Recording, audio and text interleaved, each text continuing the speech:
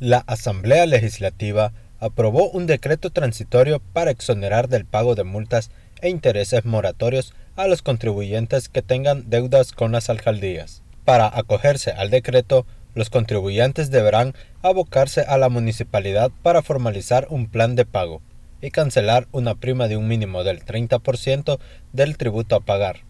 El 70% restante deberá ser cancelado hasta antes del 23 de diciembre de este año. Si el contribuyente incumple el pago de una cuota, el plan quedará sin efectivo y deberá cancelar la totalidad de la deuda. Según establece el artículo 9, literal D del decreto aprobado, no podrán ser incluidos en este decreto los contribuyentes a quienes la Administración Tributaria Municipal ya sancionó o enfrentan un proceso judicial por el no pago de los tributos.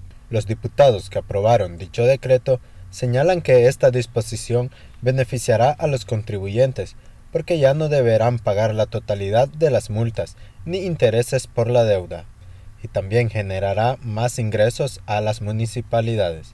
También era necesaria porque hay muchos contribuyentes que dejaron de pagar sus tributos a las municipalidades debido a los problemas económicos que generó la pandemia del COVID-19 informó para ITV Noticias Steven Ansora.